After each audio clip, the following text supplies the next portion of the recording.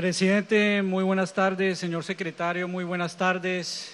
A los honorables embajadores, a los compañeros de gobierno, a la comunidad apartado y a todos los medios de comunicación. Presidente, sea esta la oportunidad en este gran evento para hablar de paz con legalidad y construir sobre lo construido, que como ministro de Defensa, en primer lugar, quiero agradecer a los más de 400 mil hombres, soldados de aire, mar y tierra y policías de Colombia, que todos los días, hoy, antes y en el futuro, se jugará su vida por proteger la paz y garantizar la seguridad de todos los colombianos. Son cinco las contribuciones que ha venido desarrollando nuestras fuerzas militares y de policía para garantizar la paz con legalidad que ha venido desarrollando el gobierno del presidente Iván Duque. En primer lugar, la paz se logra con hechos.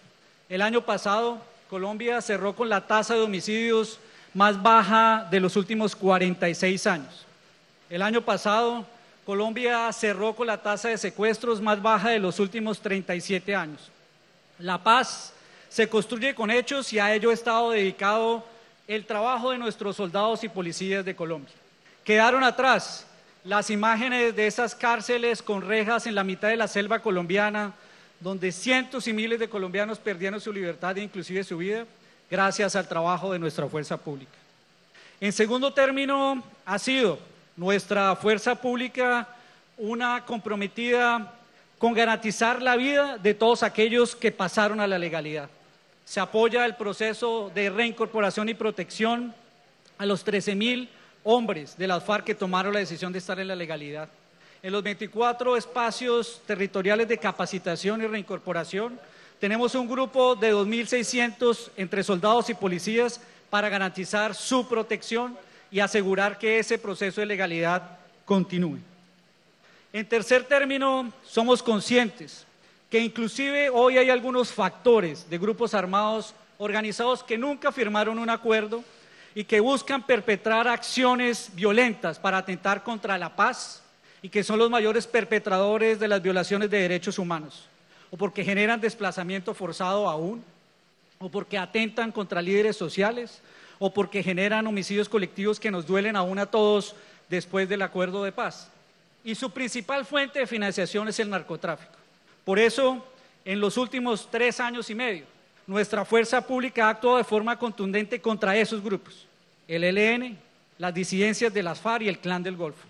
En esta región, que estuvo azotada por años por el Clan del Golfo, por alias Otoniel y su grupo, donde se generaban reclutamiento forzado de menores de edad, violaciones de niñas indígenas y adicionalmente desplazamiento forzado hace un mes fue capturado el miembro de esta organización con el fin de dar tranquilidad y seguridad y evitar que inclusive se siguiera atentando contra algunos de los reincorporados que estuvieron o que se vincularon al proceso de paz. Son ellos a los cuales dedicamos nuestro trabajo serio de seguridad para garantizar justicia y paz en esta región.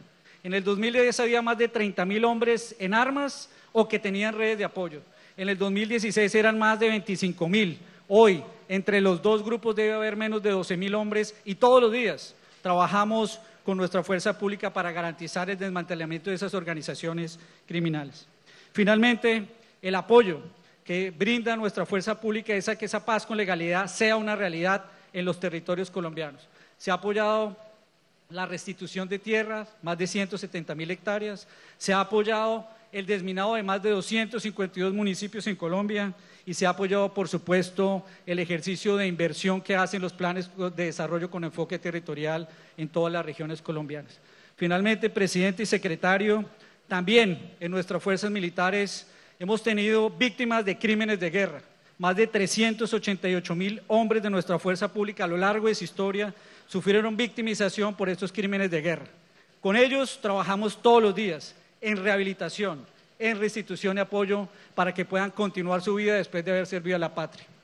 En Colombia, las fuerzas militares, nuestros soldados y policías todos los días sin tregua están en la defensa de la paz, en la defensa de la seguridad, en la defensa de los derechos humanos y en la garantía de una tranquilidad para todas las regiones colombianas. Muchas gracias.